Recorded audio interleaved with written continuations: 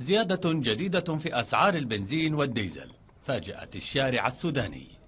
سعر لتر البنزين أصبح ب 150 جنيها أي بزيادة 23 جنيها عن السعر السابق. أما الزيادة في سعر لتر الديزل فكانت بمبلغ عشرة جنيهات فقط. صحيح أن الزيادة طفيفة لكن انعكاساتها ستطال سلعا كثيرة. ما ممكن جالونا الوقود وصل 675 داخل العاصمة وفي الولايات ب 800 ب 900 حيكون. دايرين دايرين توصلونا وين يعني الزيادة بتاعت اليوم الليلة 23 جنيه دي أنتوا لما استلمتوا البلد دي جعلونا البنزين 4 لتر ونص ب 23 جنيه. إحنا نتكلم عن الوقود بس. هسه الوقود زاد بكرة الاسعار حتزيد. بتاع الهاج بعدين الساعة يقول لك الساعة 12 دي يعني بيكون ب 300 و400 من وين أنا أجيب؟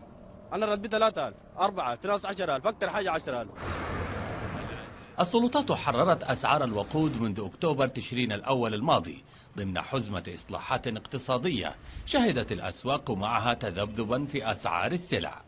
وقبل نحو شهر تم تخفيض قيمة العملة الوطنية.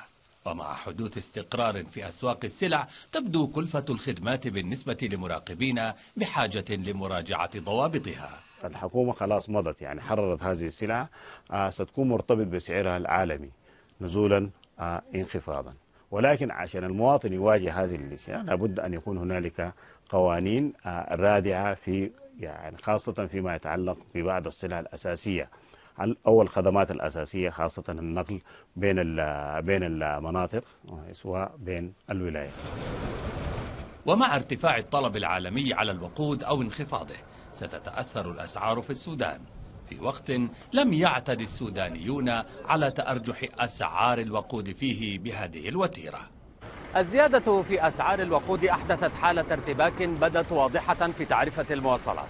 تعرفة زادت بنسبة 40% وهو أمر دفع بعض المواطنين لمطالبة الحكومة بالتدخل وتثبيت التعرفة حتى في حال حصول تغيير جديد في أسعار المحروقات.